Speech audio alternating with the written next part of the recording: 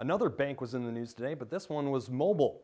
Feeding America decided to take advantage of the mildly warm summer weather by moving their operation outside. Feeding America has been hosting mobile food pantries throughout the state for a while now, but it's never been done before here in the UP. This initial one was a, a test uh, test pantry for sure, but uh, we definitely want to do a whole bunch more of these here. And um, what it allows us to do is move people through here a lot faster. It's a lot more efficient process.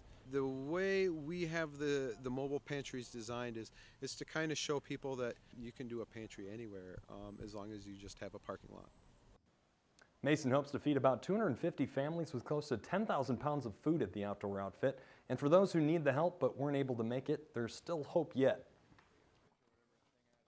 If you know anybody that is having a food instability issue, send them our way, and we'll be more than happy to take care of them. If you'd like more information on how to take advantage of the food bank, or even if you'd just like to help out, you can call their office directly or go online and visit their website at feedingamericawestmichigan.org.